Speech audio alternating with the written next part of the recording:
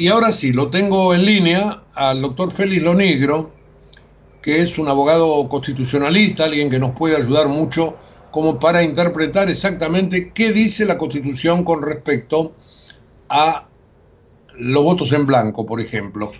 Eh, Félix, Hugo Grimaldi en Ecomedios, ¿cómo le va? Buen día. Hola Hugo, buen día, ¿qué tal? ¿Cómo les va? Bueno, muy muy bien. Bueno, yo había hecho una consideración ética con respecto al voto en blanco, personal, pero bueno, la quise compartir con los oyentes, pero más que nada me interesaba ir a las fuentes y en este caso a la Constitución y por eso lo consulto. Este, ¿Qué dice del voto en blanco particularmente la Constitución Nacional? Bueno, la Constitución Nacional, eh, en el único momento en el que se refiere al voto en blanco, eh, no lo llama con ese nombre, sino que por, por, defecto lo menciona como un voto negativo. ¿Por qué? Mm. Porque la Constitución establece que en la primera vuelta electoral, para que un candidato pueda ganar la elección sin segunda vuelta, tiene que superar el 45% de los, formos, de los votos afirmativos y válidos. Entonces, lo contrario válido es nulo, lo contrario afirmativo es negativo, es un voto en blanco, es un voto por nadie, es un voto negativo. De manera tal que el constituyente de movida al voto en blanco no lo considera, no lo tiene en cuenta, no lo, no lo computa como base para el cálculo del porcentaje en primera vuelta.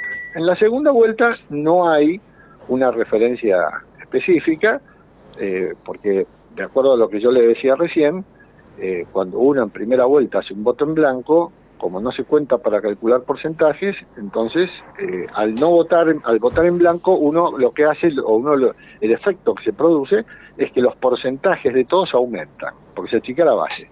Eh, en la segunda vuelta no es así. En la segunda vuelta el voto en blanco no modifica ningún porcentaje.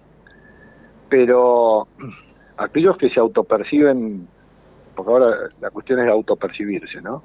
Sí, sí. La cuestión, si, si algunos se autoperciben neutros, votando en blanco o haciendo un voto nulo, eh, cuyos efectos son iguales, quiero hacerles saber de que es una autopercepción equivocada.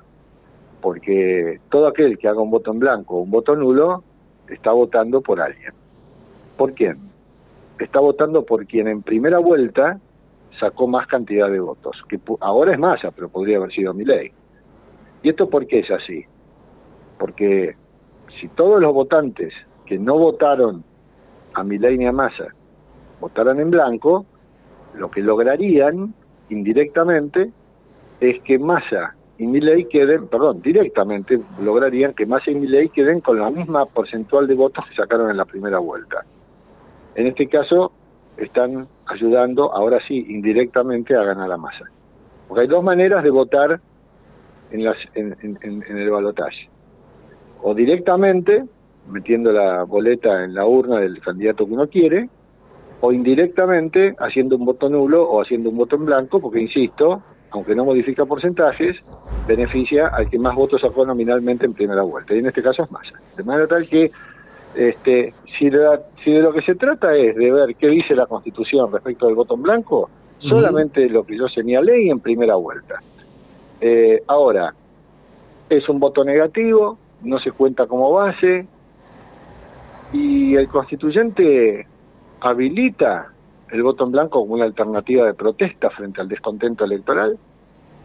Yo estoy convencido que no, y mi respuesta es técnica.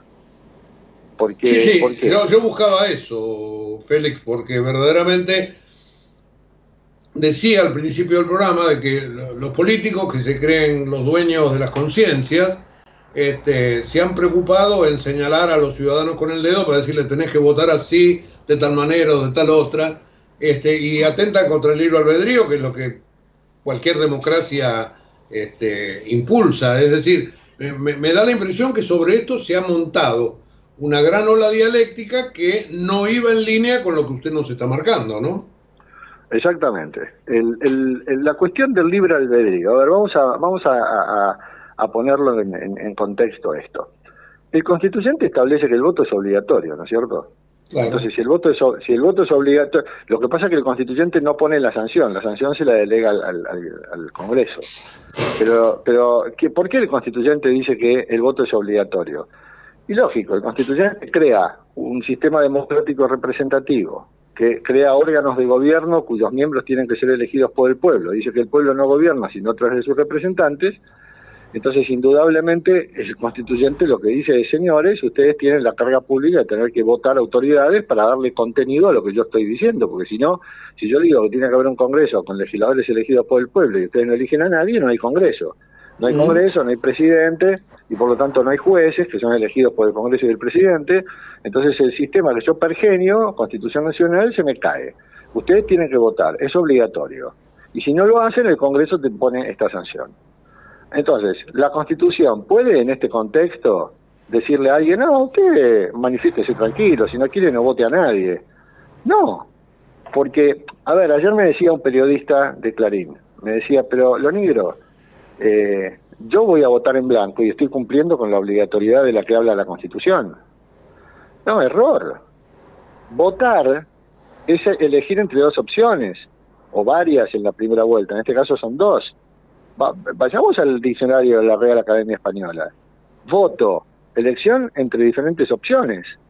La, la, opción tiene que ser siempre por alguien. El que vota en blanco no vota. A ver si está claro. El que vota en blanco no está yendo, está yendo físicamente a votar, pero cuando llega el momento no vota a nadie. Entonces, esto es lo que, lo que hay que entender, que no solo el voto en blanco no es neutral, sino que además el voto en blanco es eludir la obligación que impone la Constitución. Lo que pasa es que no se puede detectar al que no vota en blanco. Entonces, como no se lo puede detectar, no hay sanción posible. Lógico. Pero, pero, pero el que va a votar y vota en blanco, en realidad engaña, porque el constituyente no considera como una opción válida votar en blanco, si no, no establecería la obligatoriedad, dejaría que la gente se exprese yendo o no yendo a votar. Entonces, este, no hay, no hay, para mí no hay mucha vuelta respecto de esto. Pero insisto, hay toda una cuestión que se, ha, puesto en debate ahora, que es muy interesante discutir, porque los argentinos no tenemos experiencia en balotaje. Una vez sola fuimos a balotaje, fue en el 2015. Entonces todo esto aflora, y me parece muy bien que estos debates académicos estén en el tapete, porque son formativos y porque son culturalmente o cívicamente este, cívicamente muy útiles. Anoche en televisión, este, Ernesto Sanz, un político mendocino, eh, creador de Juntos por el Cambio, dijo algo que no se lo había escuchado yo en los últimos días a ningún político, sobre todo este, algunos radicales, porque él es radical, y él dijo que Juntos por el Cambio va a ser oposición institucional pero en lo individual cada uno puede votar a quien quiera. Es decir, ya ese mandato de ser neutral me parece que se está dejando de lado. Mm, no sé si es algo individual de Sanz o es algo hablado dentro del partido, pero me parece que algunos políticos están más o menos entendiendo el concepto, ¿no? Bueno, a ver, el, eh, los votos no son de los partidos políticos. Claro. Los partidos, los partidos políticos son vehículos eh, a través de los cuales el, elector elige a un candidato. O sea, en la Argentina los únicos que pueden presentar candidatos, ocupar cargos públicos, son los partidos políticos. El partido político me presenta el menú, este, como un restaurante, cuando uno va a ver, me da el menú, y uno agarra el menú y elige lo que hay allí. Eh, nunca es opción este, no elegir nada, porque si no, ¿para qué voy al, al restaurante? Bueno, acá lo mismo el candidato, eh, el elector va y elige al que quiere, más allá de lo que le diga el partido político.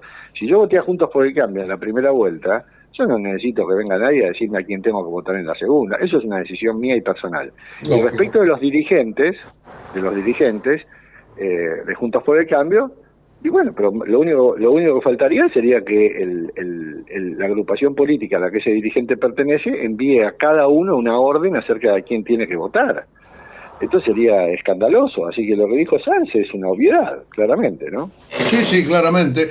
A mí me pareció que era como una especie de giro lógico, ¿no? De, toda esta historia que durante los últimos días se había encrespado demasiado. Eh, lo, quiero consultar con otra cosa que tiene que ver eh, con la justicia, que son que es el discurso del otro día del presidente de la Corte en la Universidad de Lomas de Zamora y la crítica posterior que le hizo Ricardo Lorenzetti con una carta pública por haber hablado de la unidad nacional, eh, prácticamente usando las mismas palabras de Sergio Massa.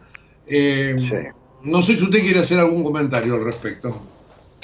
No, bueno, a ver, yo, yo tengo por esta corte un, un, respeto particular porque me parece que es una Corte Suprema que se ha plantado frente a un poder político que pretende o pretendió este, convertir a la justicia en un servicio, como si fuera un servicio administrativo, este, cuando el Poder Judicial es, es, es la columna del sistema republicano. Lo que pasa es que me parece que los jueces tienen que hablar a través de sus sentencias. No es prudente que lo, por más que Rosati sea el, presidente de la Corte, pero eso lo convierte en un interlocutor institucional del Poder Ejecutivo. Me parece que se ha excedido eh, Rosati no solamente cuando llama, le puso un límite a la dolarización, eh, porque después él eventualmente tendría que participar, si, si le correspondiera, si se impugnara una eventual dolarización tendría que resolverlo y entonces ya adelantó posición, eso hace lugar a una excusación o a una recusación, y ahora, de alguna manera, también me parece excediendo el marco, de, hace gala de, no, no, no, yo no digo que sea que sea masista ni mucho menos, este, pero me parece que en, el, en una elección, así como muchas veces la Corte decide postergar un pronunciamiento de un fallo sensible hasta que pasen las elecciones, por ejemplo, caso con participación en Ciudad de Buenos Aires, eh, me parece que también es prudente que el presidente de la Corte en estas circunstancias se abstenga totalmente de hacer comentarios que puedan colocarlo de uno o del otro lado en, en, la cuestión política. ¿no? Entonces, si bien yo respeto a esta Corte y al mismo Rosati desde lo intelectual, eh, creo que por ahí se ha excedido, no solo con comentar lo de la dolarización, sino además con este comentario que hizo ahora. Ah, doctor. Sí, sí, Ah, no, me pareció, me pareció que se había, se había cortado. Nos decía que a su juicio se excedió, no solo al comentar lo de la dolarización, y ahí se cortó. No, no, este, no solo al comentar lo de la dolarización, sino que me parece que también se excedió al hacer este comentario eh, que de alguna manera hace sospechar o, permite interpretar a algunos que este, ha, sido funcional a, los intereses de uno de los candidatos en pugna en esta. Ahora, yo le digo algo este, con respecto a Rosati, a quien yo había escuchado hace un año en el coloquio de idea en Mar del Plata, y ya fuera del contexto actual, él ya había hablado de unidad nacional. ¿eh? Le, digo que no es algo que, que sea en su discurso algo novedoso. No, no, pero es que tal vez yo no, no, no, o sea, tal vez no lo sea, eh, pero el cuidado que él tiene que tener, máxime si lo que él sostuvo académicamente, eh, bueno, ahora lo utilizó algún candidato. Bueno, entonces ahí es el momento de no pronunciarme. Y, este, Lorenzetti difundiendo esto este, de tal forma como lo hizo, de algún modo también no atenta contra este, el funcionamiento lógico de, una corte donde todos no tienen que estar de acuerdo, pero que tampoco se lavan los trapos sucios para afuera. Y bueno, es lo que pasa, ¿no? Esto ya pasó no solo ahora, sino que también ocurrió antes, cuando Lorenzetti se opuso a una este, a una acordada de la Corte que se refería a la necesidad de escribir sentencias con un lenguaje claro eh, y, propuso algunas pautas para los jueces y entonces la Corte interpretó, eh, Lorenzetti no estuvo de acuerdo. yo creo que las divergencias, las disidencias de los jueces se tienen que manifestar en los votos este, y, y, en cada caso concreto. Por supuesto que hay hombres en el medio, y los hombres tienen problemas de piel y se llevan bien o mal, son órganos colegiados, estas cosas son inevitables. Lo ideal sería que la Corte no ponga esto en el balcón para que no se vea o se vea lo menos posible y, que se concentre en la tarea de administrar justicia más allá de las disidencias internas que haya, ¿no? Y sobre todo cuando hay elecciones. Doctor Lonigro, gracias por la charla. Le mando un gran abrazo, ¿eh? muy amable. Un abrazo. Gracias, igualmente. Hasta luego. Félix Lonigro, abogado constitucionalista. Bueno, hablamos del tema del voto en blanco o no voto. Y este, finalmente le dimos una vueltita a este tema eh, Rosati versus Lorenzetti, porque la Corte evidentemente está este, muy, pero muy conflictuada hoy por hoy por estos cruces que se han dado públicamente en los últimos días.